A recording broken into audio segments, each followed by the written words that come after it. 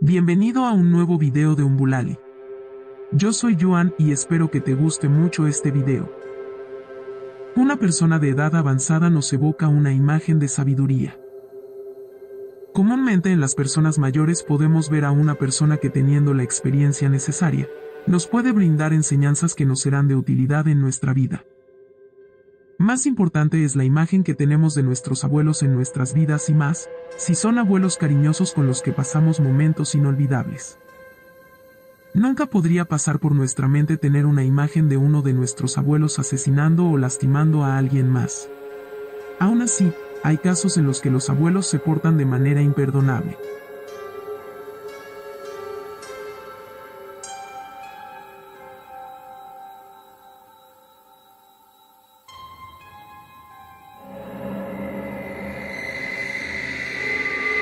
Albert Hamilton Fish nació el 19 de mayo de 1870 en Washington, D.C.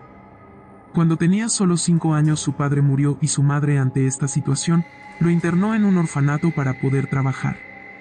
Albert y los demás niños del orfanato estaban expuestos a constantes maltratos y abusos, pero el pequeño Albert, siendo diferente a los demás, deseaba con ansias que los maltratos llegaran ya que era masoquista. Dos generaciones anteriores en la familia del pequeño Albert padecían enfermedades psiquiátricas y algunos de los familiares terminaron sus días en instituciones mentales. Los reportes de la niñez de Albert lo describieron como un niño problema que desaparecía cada sábado. A los 15 años se graduó de la escuela pública y cambió su nombre. En el año de 1898, se casó con una muchacha nueve años menor que él, del matrimonio resultaron nueve hijos que gozaron de un buen padre que nunca abusó de ellos. Aún así, los niños fueron testigos de actos extraños que llevaba a cabo su padre. Padecía regularmente de alucinaciones y sus hijos lo vieron en diversas ocasiones subir a una cima de una colina para alzar un puño y gritar que era Cristo. Fis en algunas ocasiones pedía a sus hijos y jóvenes vecinos que le dieran golpes con una tabla que contenía puntas filosas, Solo se detenían cuando dejaban el trasero de Albert sangrando. Fis recopilaba información sobre canibalismo que aparecía en libros, periódicos y revistas. Incluso varias veces fue arrestado por robo y diversos fraudes, también escribía cartas obscenas a las mujeres de anuncios clasificados del periódico. Él dedicaba su vida a pintar y decorar interiores. Viajó por 22 estados de la Unión Americana y en estos lugares se empleaba temporalmente. La mayoría de las veces fue despedido por los problemas que surgían con los niños del lugar. Albert estaba obsesionado con el dolor y los niños eran el objetivo de sus perversiones.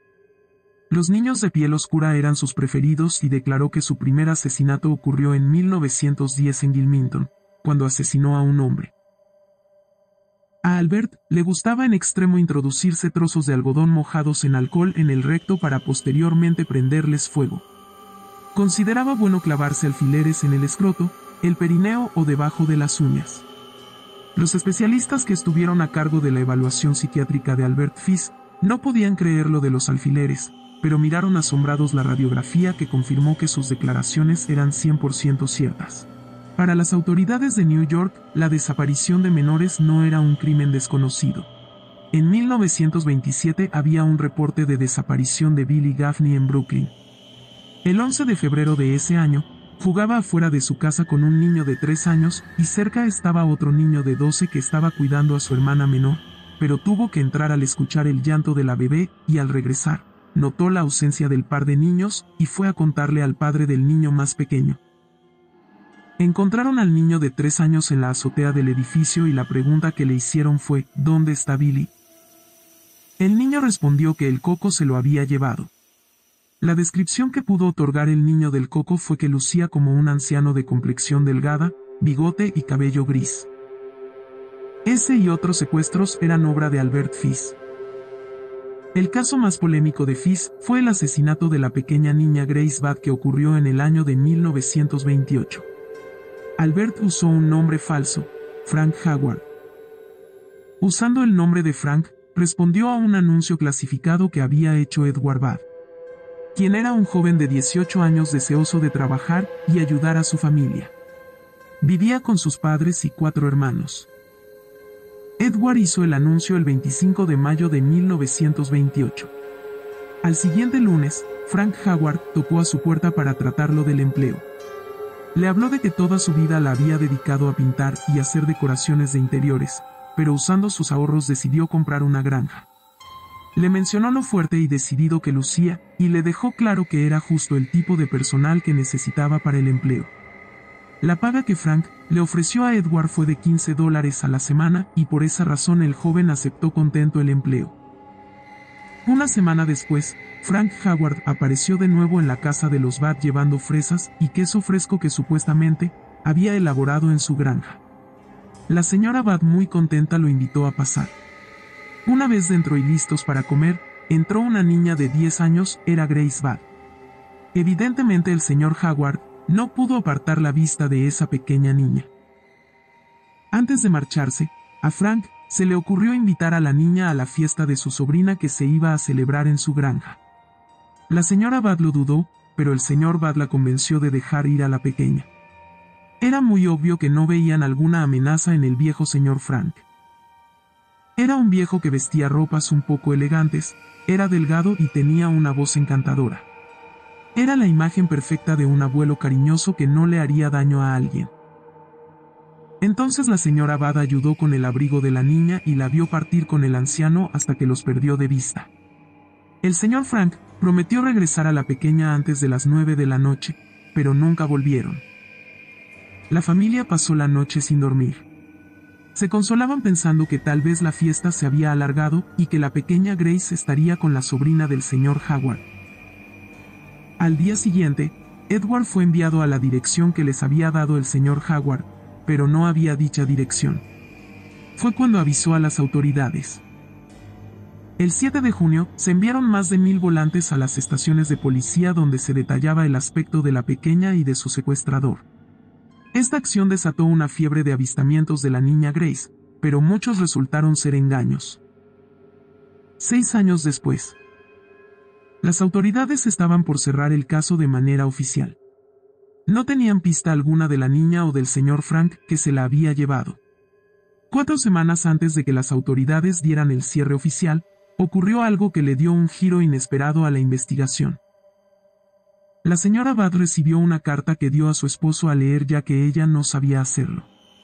El señor Bad dio lectura a la carta y conforme avanzaba entre las líneas un sentimiento de horror le invadió. Decidió entregar la carta de inmediato a la policía.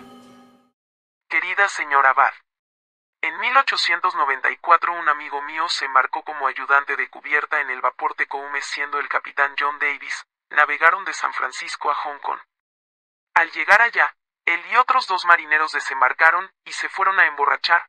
Al regresar al puerto el barco se había ido. En ese tiempo China padecía hambruna. Cualquier tipo de carne costaba de uno a tres dólares la libra. Tanto era el sufrimiento de los pobres que los niños menores de 12 años eran vendidos como comida con el propósito de que los demás no murieran de hambre. Un niño o niña menor de 14 años no estaba seguro en las calles. Uno podía ir a una tienda y pedir carne, costillas o bistecs, y al mostrador era traída alguna parte desnuda del cuerpo de un niño para que uno eligiera lo que más deseara. El trasero de niño o niña, que es la parte más deliciosa del cuerpo, era vendido como un corte fino a un precio alto. John permaneció en aquella tierra por mucho tiempo, al grado de tomarle gusto a la carne humana. A su regreso a New York, se robó dos niños de siete y once años. Los llevó a su casa donde los desnudó y amarró en un closet. Quemó todo lo que traían puesto y varias veces durante los días y noches siguientes, los apaleó y torturó con el objetivo de que la carne quedara buena y tierna. El primero en morir fue el niño de once años, puesto que tenía el trasero más grande de los dos. Cada parte de su cuerpo fue guisada y comida, excepto la cabeza, los huesos y las vísceras.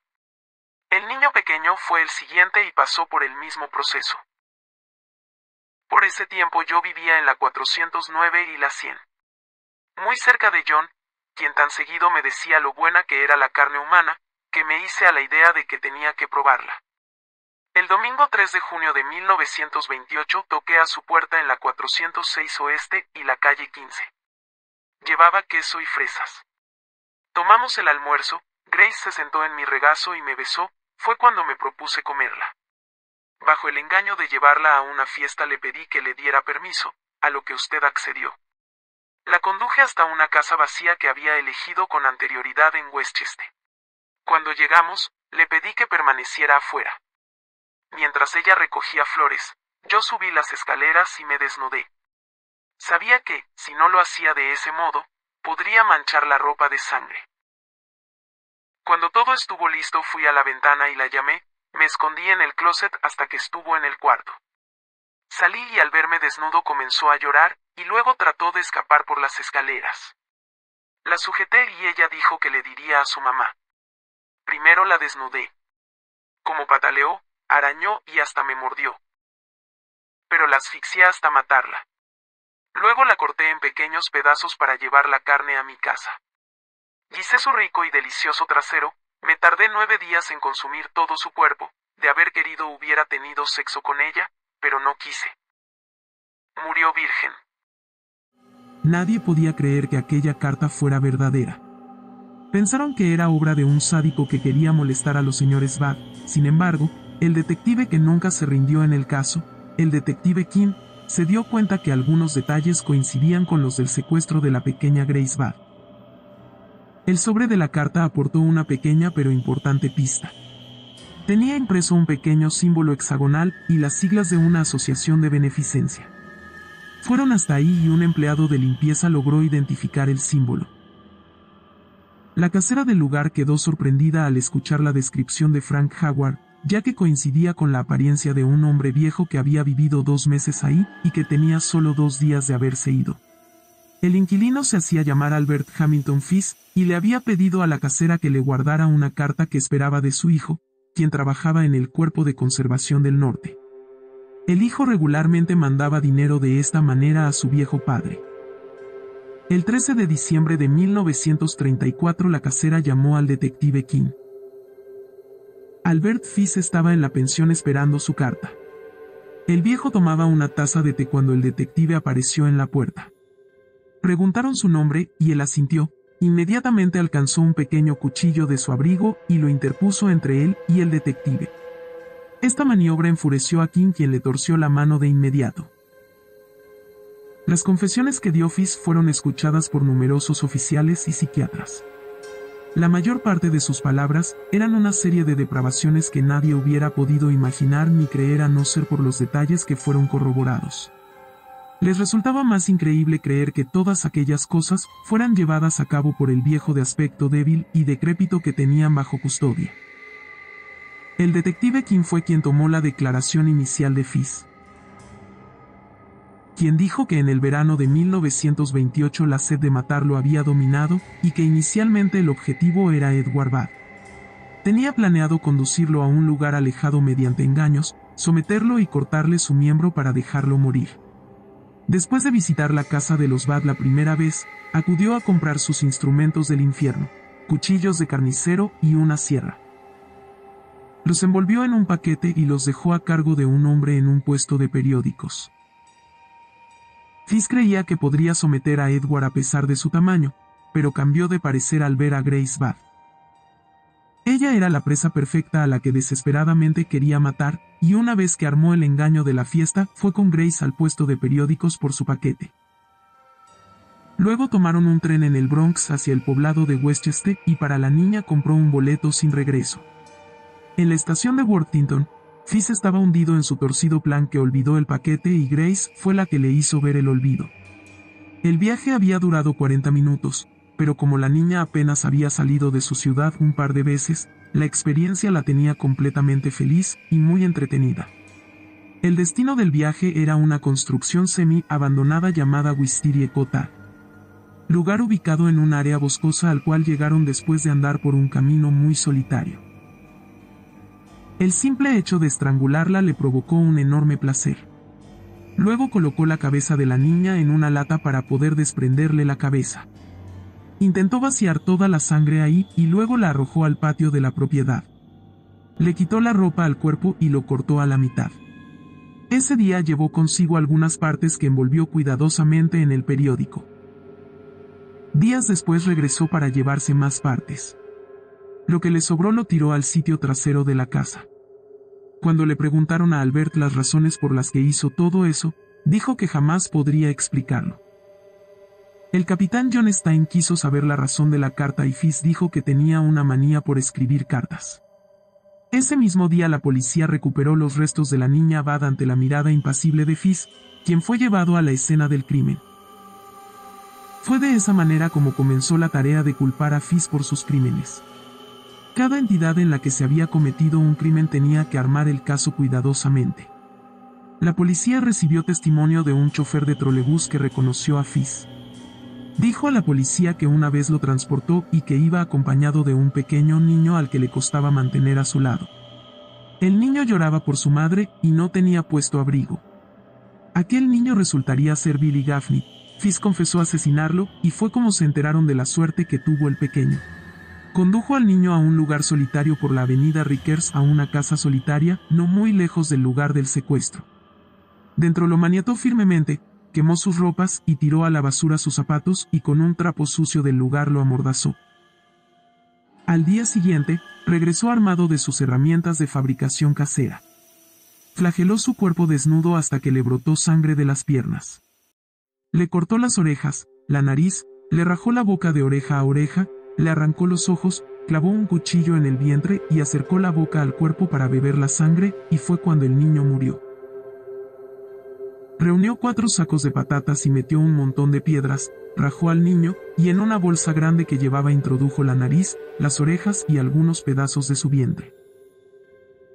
Luego cortó al niño por la mitad, cortó las piernas y el trasero. Las partes las envolvió muy bien en el periódico. Cortó la cabeza y los demás miembros que puso en los sacos con piedras, y que luego lanzó a las aguas cenagosas cercanas a la carretera que conduce a North Beach. Fizz declaró que regresó a casa con su carne. Tenía la parte delantera que era la que más le atraía. Tomó su miembro, sus testículos y un poco de carne con grasa del trasero para hornearlos y comérselos. Rajó los glúteos que añadió a las otras partes y procedió a lavarlos. Peló cebollas y cuando la carne llevaba cuatro horas asándose, vertió media taza de agua para tener algo de salsa y añadió las cebollas. Dijo que golpeaba la carne a intervalos frecuentes con una cuchara de madera para que la carne estuviera más tierna y jugosa. También hizo un guiso con sus orejas, su nariz y algunas partes del rostro y su vientre añadiendo cebollas, zanahorias, nabos, apio, sal y pimienta. Argumentó que estaba delicioso. Los psiquiatras llegaron a la conclusión de que Albert Fiss estaba desquiciado, lo diagnosticaron con psicosis paranoide. El juicio comenzó el 11 de marzo de 1935 en New York, el fiscal fue Albert Gallagher y el abogado defensor James Dempsey. La familia Bad testificó y llevaron en una caja los restos de la pequeña Grace. Estimaciones policíacas afirmaron que Fizz pudo lograr una cifra cercana a las 100 víctimas, aunque el criminal aseguró que fueron aproximadamente 400 personas.